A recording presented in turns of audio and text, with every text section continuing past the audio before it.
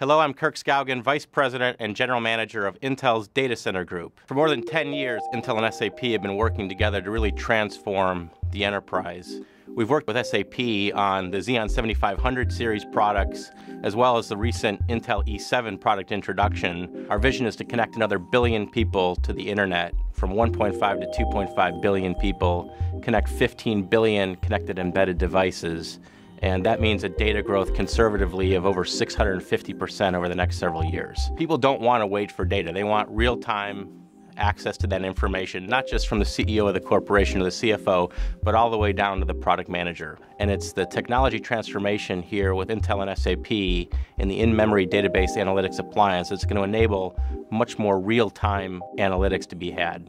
The benefits we're seeing from the new Xeon E7 processor, as well as the SAP HANA in-memory business appliance, are, are outstanding. Relative to a traditional database query, we're literally seeing 355 times the performance. Things that used to take 77 minutes down now to 13 seconds uh, of analytics time, and that's game changing. And it's for that reason that we're proud to have received the uh, Pinnacle Award from SAP.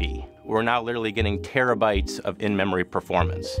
We've increased the number of cores 25%, uh, now 10 cores and 20 threads per processor, so you can literally get 160 threads of computing power now in an 8-socket machine.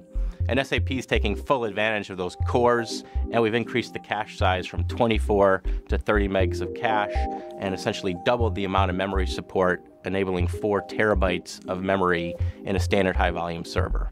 In addition, we've added a number of reliability features, over 20 reliability and availability features into the Xeon architecture uh, over the last year to make sure we have a rock solid, mission critical uh, architecture to build on. So when we're looking at the impact of in-memory appliances and in-memory computing, we think it's a game changer for a number of reasons, from being able to do uh, more real-time analytics and get information quicker uh, into the hands of decision makers, to be able to uh, test different scenarios out more rapidly uh, before you go to rapid deployment. We've increased the memory capacity to multiple terabytes now of in-memory capability, and the results of optimizing for our multi-core technology, our energy efficient uh, capabilities and the reliability and availability in the products have been uh, outstanding. As SAP looked for partners to innovate on this next generation HANA appliance, they looked to Intel, one of their most strategic partners.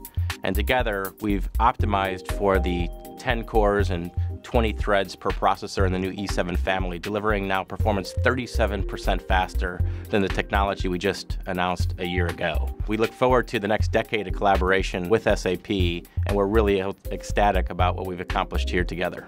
SAP HANA in-memory database appliance takes unprecedented use of the technology which is now from Intel the world's fastest microprocessors on the planet. This innovation is incredibly important to Intel because SAP is always pushing us and our processor technology to the limits. I'm Kirk Skaugen, Vice President and General Manager of Intel's Data Center Group.